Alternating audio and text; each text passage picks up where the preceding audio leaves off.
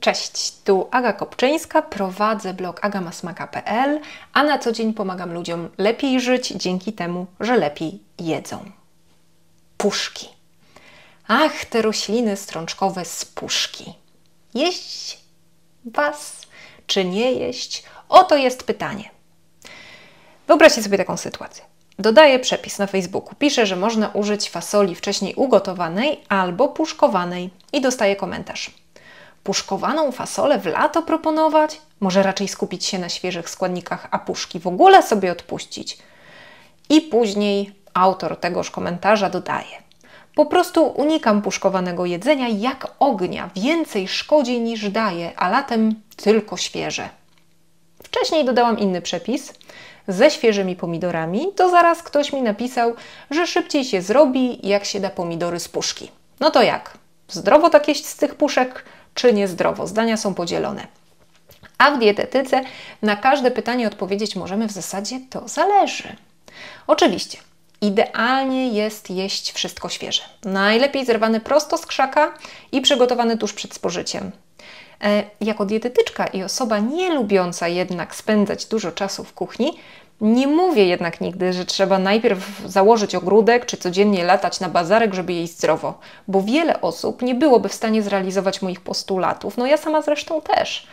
E, oczywiście to i owo mamy zasadzone na parapecie, zasadził mój mąż, ale nie widzę siebie jakoś w roli um, uprawiającej eko-ogródek i spędzającej nad tym jakoś dużo czasu.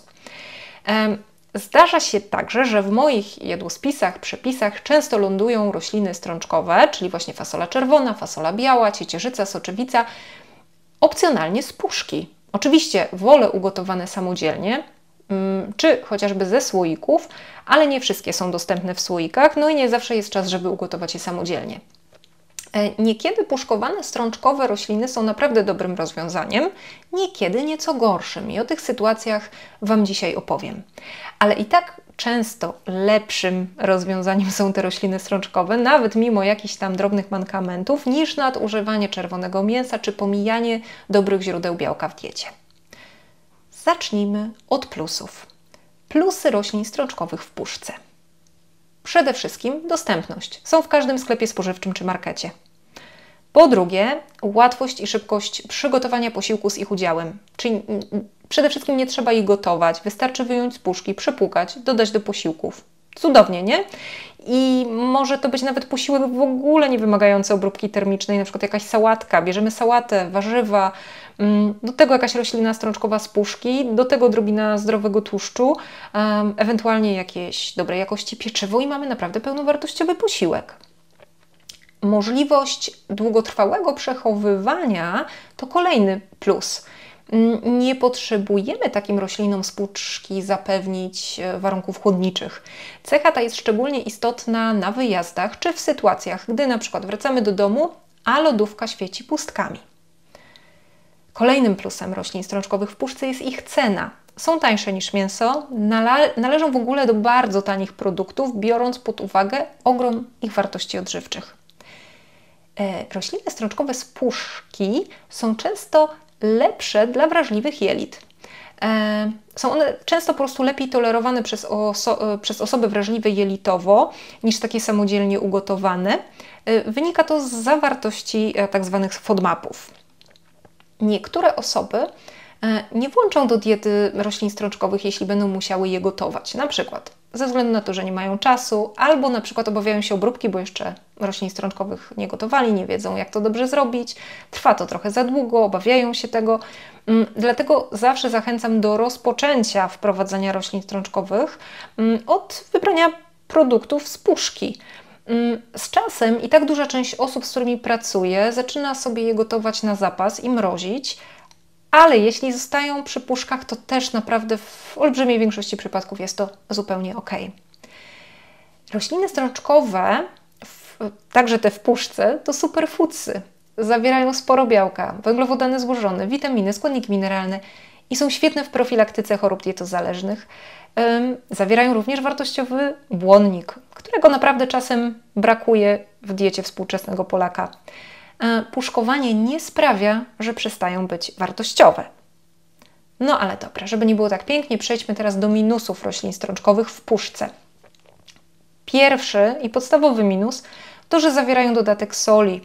To jest szczególnie istotne dla osób z nadciśnieniem lub wszystkich innych pacjentów, którzy muszą ograniczać sól w diecie. Również w przypadku małych dzieci, bo pamiętajmy, że małe dzieci zaliczają się do tej grupy osób, którym tak naprawdę no, nie powinniśmy dosalać potraw. Zawsze więc, jeśli używamy roślin stroczkowych z puszki, dobrze je przepłukać pod bieżącą wodą, no i nie dosalać już dania, które przygotowujemy na bazie puszkowanego produktu. Kolejny minus, którego wiele osób się obawia, często zupełnie niesłusznie, to fakt, że w puszkach mogą znajdować się bisfenol A i aluminium. Według ekspertów nie są, nie są to jednak ilości zagrażające zdrowiu. Jednak oczywiście to dawka czyni truciznę, czyli jeśli oprócz puszek ze strączkami serwujesz sobie często na przykład ryby z puszki, na deser podajesz sobie puszkowaną brzoskwinię lub ananasa w syropie, a do tego na przykład dodajesz puszkowane pomidory do zupy czy sosów, to myślę, że warto jednak zrewidować nawyki i przerzucić się na świeże owoce, pomidory ze słoika albo butelki, albo po prostu świeże i to samo z rybami. Puszki będą więc kiepskim wyborem dla osób, które borykają się z chorobami nerek. Tu zwykle zastrzegam pacjentom, żeby samodzielnie gotować strączkowe. Odradzam również regularne spożywanie puszkowanych warzyw małym dzieciom i kobietom w ciąży. Kolejny minus, znaczy minus i nie minus, bo tak może być, ale nie musi. Mm, puszkowane rośliny strączkowe mogą zawierać dodatek cukru. Najlepiej więc czytaj etykiety. Cukier jest tu naprawdę niepotrzebny, więc wybieraj najprostsze składy, czyli mm, w składzie takiej puszki powinna się znaleźć roślina strączkowa, do tego woda, do tego sól i to naprawdę wystarczy. Kolejny i ostatni minus to taki, że kupując puszki produkujemy więcej odpadów. Nie jest to z pewnością mm, opcja zero waste, o nie. Dlatego jeśli masz możliwość, to warto jednak ugotować suche rośliny strączkowe, podzielić na małe porcje i sobie zamrozić, niż po prostu produkować um, dużo śmieci. Podsumowując, nie demonizujmy puszek, Czasem człowiek naprawdę nie ma czasu, a z pomocą fasoli z puszki można wyczarować zdrową pastę do chleba, pyszną sałatkę warzywną, gulasz warzywny, fasolowe brownie czy inne danie bogate w białko i wartościowe składniki. Są osoby, które powinny stronić od puszkowanych warzyw, ale niektórym ciecierzyca czy fasola z puszki może zrobić naprawdę dobrze, bo korzyści ze spożycia roślin strączkowych są naprawdę spore. Sprawdzajmy składy. Jeśli kupimy produkt puszkowany z masą dziwnych dodatków, dużą ilością soli, cukru, no to nie będzie to dobry wybór. Kiedy już znajdziesz w sobie gotowość, to warto, naprawdę warto rozważyć samodzielne gotowanie roślin strączkowych na zapas i ich mrożenie, ale nie katuj się, jeśli nie zawsze zdążysz i do szybkiego obiadu dorzucisz fasolę z puszki.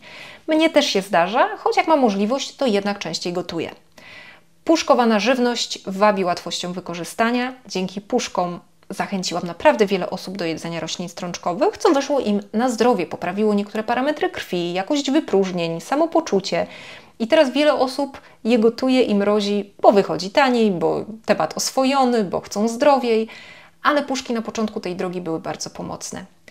Idźmy do przodu metodą małych kroków. Nie wymagajmy od siebie od razu dużo, nie zawsze musi być idealnie, a przede wszystkim nie straszmy się wzajemnie w sieci tym, czym straszyć nie trzeba. I pamiętajmy, to dawka czyni truciznę i w tym kontekście trucizną mogą być nawet pozornie bardzo zdrowe rzeczy spożywane zbyt często i w zbyt dużej ilości. Tylko umiar i urozmaicenie diety nas uratuje. Taka jest moja filozofia życia i żywienia. A jeśli chorujesz na coś i nie jesteś pewna lub pewien, czy powinnaś jeść rośliny strączkowe z puszek, to po prostu skonsultuj się ze specjalistą, który Ci podpowie, na jakich produktach powinna opierać się Twoja dieta. Pozdrawiam Cię serdecznie. Życzę Ci dobrego czasu dnia bądź wieczora. Słuchaj mnie, odwiedzaj mnie, znajdziesz mnie na Facebooku, na Instagramie, na YouTubie i oczywiście w serwisach podcastowych i przede wszystkim na blogu agamasmaka.pl. Cześć!